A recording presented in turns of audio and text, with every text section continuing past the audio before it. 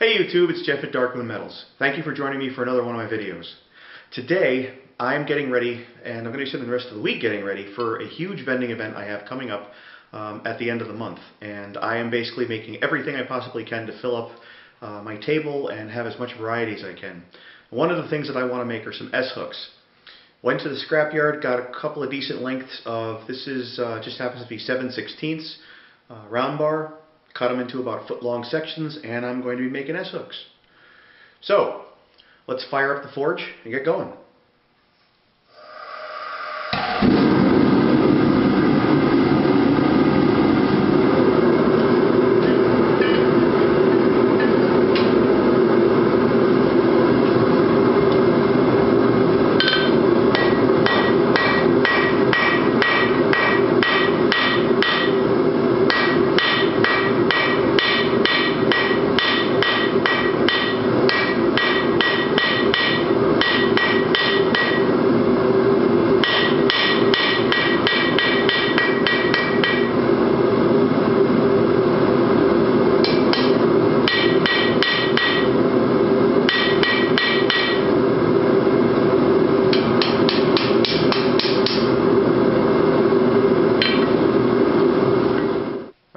once you get your fish tails done, you're going to come over to the, you would normally use the edge of your anvil. Um, my edges are absolutely horrible, so I'm using an auto body dolly instead.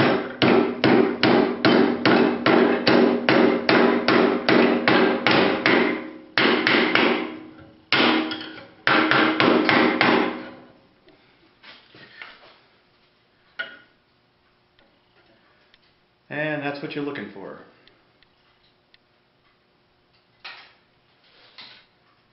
For the next side, if this end goes up, you want this end to go down.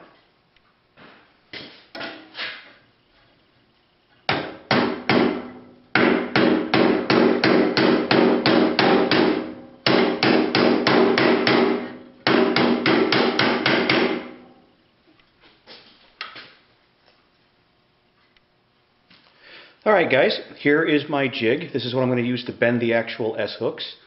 Um, this is uh, the lip or the, um, the end that we formed on the end of each bar. And the way this is going to work, I'm going to heat this up. I'm going to quench the tip. And the tip is going to lock in behind this bar and it's going to wrap around this piece of pipe.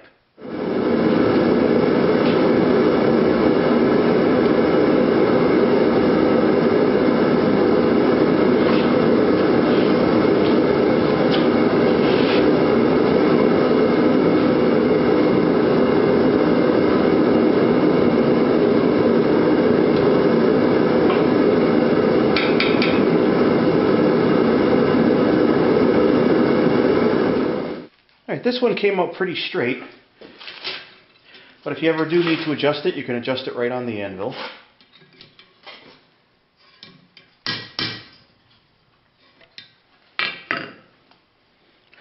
Not too shabby.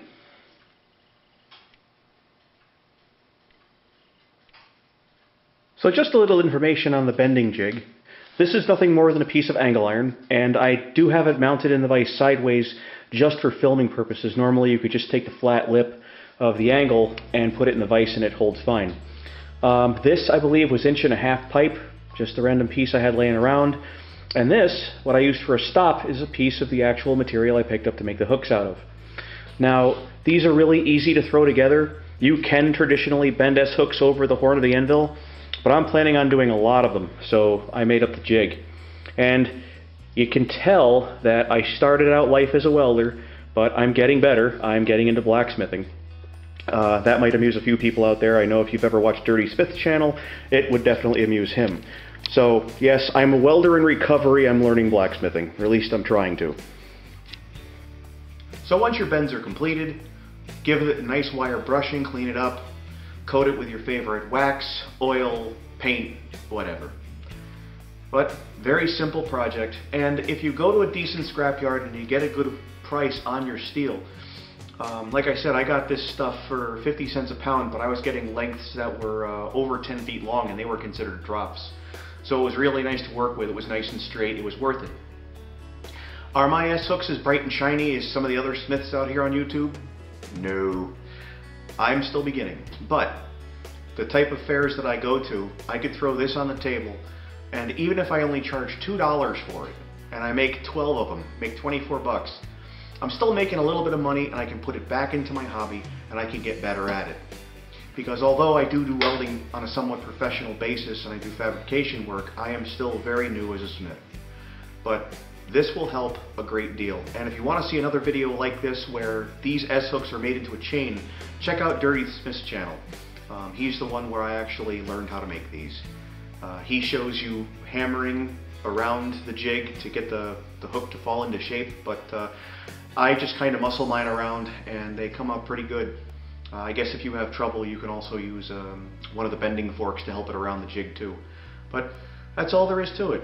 So don't think that it's something difficult, just go out and try it. And uh, I can guarantee you, the end results, they might not look pretty the first couple of times, but uh, give it a good couple hours of work, put your heart and soul into it, and you'll have something you'll be proud of by the end of the day. I'm going to leave you to think about that. So until the next video, this is Jeff at Darkmoon Metals. I'll see you again soon.